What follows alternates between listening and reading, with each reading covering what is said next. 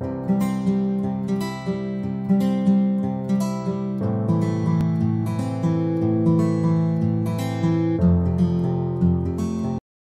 guys I am Nekisha from Canada Immigration TV.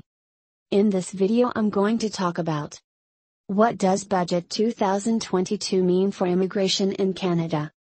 If you're interested in learning more about this topic, please watch this video all the way to the end. For the most recent immigration news and updates, Please like and share to this video don't forget to subscribe to my YouTube channel by hitting the subscribe button icon of the notification bell. Let's get started with the video. Chrystia Freeland, Canada's finance minister, has just released the country's first budget since the federal election in September 2021. The budget lays out the Government of Canada's expenditure and income priorities. It is one of the most important announcements made by the federal government each year since it defines the state of the economy and fiscal health of Canada, as well as the government's policy priorities.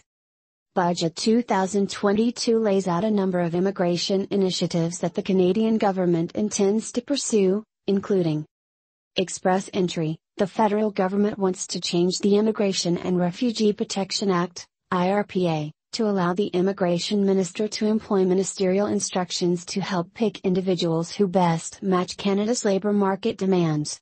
The federal government has not provided any additional information about the changes it intends to make.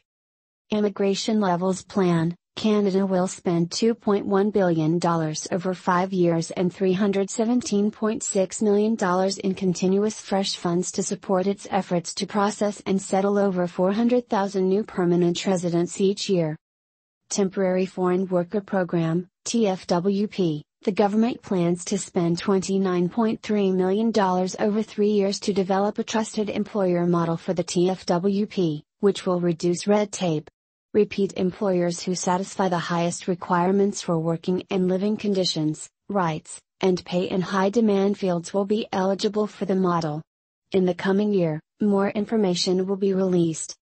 In addition, the federal government plans to spend $48.2 million to build a new simplified TFWP for agricultural and fish processing employers.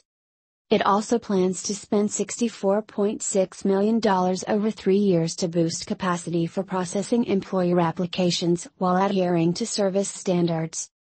Support services for immigrants and visitors to Canada. Budget 2022 proposes spending $187.3 million over five years and $37.2 million on an ongoing basis for Immigration, Refugees and Citizenship Canada, IRCC to improve its ability to respond to the growing number of inquiries and to invest in the technology and tools needed to better serve its clients.